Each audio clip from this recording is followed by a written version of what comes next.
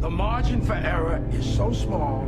I mean, one half a step too late or too early, and you don't quite make it. One half second too slow, too fast, you don't quite catch it. The inches we need are everywhere around us.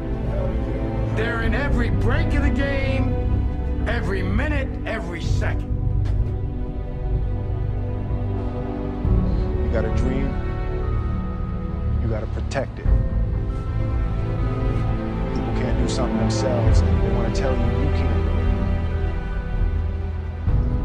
it. You want something, go get it. Period. Don't be afraid to fail. You can't always win, but don't be afraid of making decisions.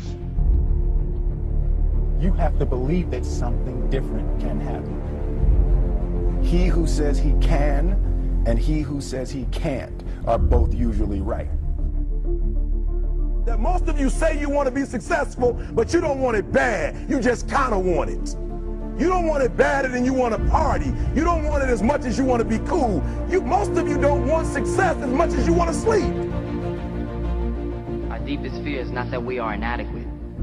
Our deepest fear is that we are powerful beyond measure. It is our light, not our darkness, that most frightens us. To dig deep down, dig deep down, ask yourselves, who do you want to be? Figuring out for yourselves what makes you happy, no matter how crazy it may sound to the people. Make a choice. Like, you just decide what it's going to be, who you're going to be, how you're going to do it. Just decide. Why not? Why can't I be the MVP of the league? Why can't I be the best player in the league? I don't see why. Why? Why can't I do that?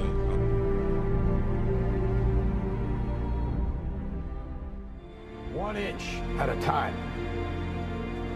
To be able at any moment to sacrifice what you are for what you will become. Most of you won't be successful because when you're studying and you get tired, you quit. I don't do well in math. You're right. You ain't never studied. I'm not good in writing because you have never written before. Talent you have naturally. Skill is only developed by hours and hours and hours of beating on your craft. If you are not making someone else's life better, then you're wasting your time. Don't cry to give up. Cry to keep going. Don't cry to quit. You already in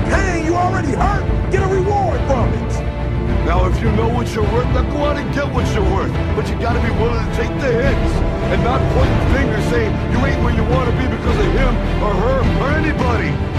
Cowards do that and that ain't you. You're better than that. Because every day is a new day. Every moment is a new moment. So now you got to go out and show them that I'm a different creature. Now! I'm gonna show you how great I am.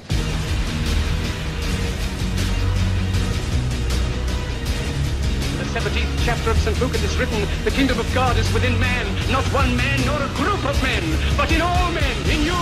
You, the people, have the power. The power to create machines, the power to create happiness. You, the people, have the power to make this life free and beautiful, to make this life a wonderful adventure. Now, what are you gonna do?